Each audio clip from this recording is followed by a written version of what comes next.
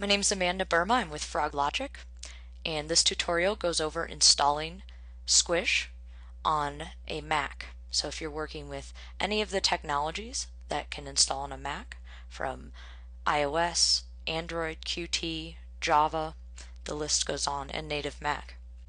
What you'll take is the package that you download and simply extract that package to the same location or the location where you would like Squish to be installed.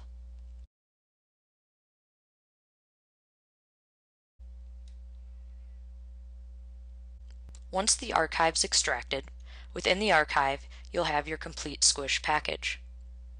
To set up your license, as well as other settings for Squish, we'll run the setup.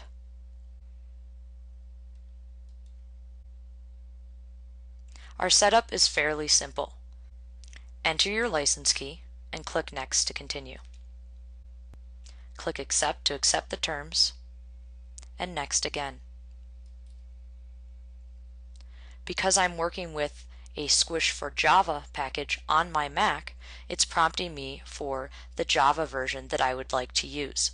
So if I have a 64-bit Java application versus a 32-bit, I need to have the corresponding Java Runtime Environment, or JRE, specified during install. For other technologies, there may be similar options, and they're all specific to the technology that you're testing. Click Next again, and our install is complete. From here you can launch the Squish IDE. I'll uncheck this to show you where to launch the Squish IDE when you're not launching it from setup. Back to our directory where we extracted the Squish archive. You still have your entire Squish install. It hasn't moved, it's not in applications, there's not a shortcut that was created, it's all self-contained. If we want to go to the IDE, we'll go to the bin folder, and this is where the Squish IDE resides. You can easily make a shortcut or an alias and place that wherever you'd like. Once again, the Squish package is self-contained and the Squish IDE resides within the bin directory.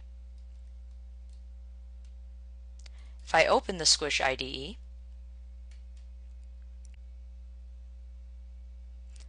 you'll see the welcome screen that appears when you first install. The next time that you come to the Squish IDE, the welcome screen will no longer be there. Instead, you will be at the workbench where you can begin working with your test suites. Thank you for watching this demonstration on installing Squish on a Mac.